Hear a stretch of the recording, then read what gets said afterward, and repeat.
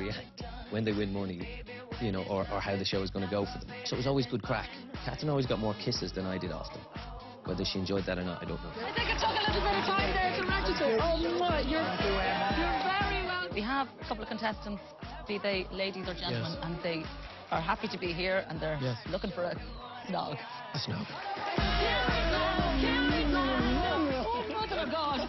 Did you just... Go into the. He did, he went to the... Yes, Sorry, why, why not? Why wouldn't you? Jeez, Mary, I don't know what's gotten into him. You are very obliging in that regard, aren't you? Really? As long as I don't touch your hair. No. Which the same goes for me, I can then. I'm kind of lost. I would be quite a tactile person anyway, and just even in my nature, I just, you know, anytime I meet somebody, I just give them a No kiss way. on the cheek. You know, No how are you? Nice to meet you. That's no And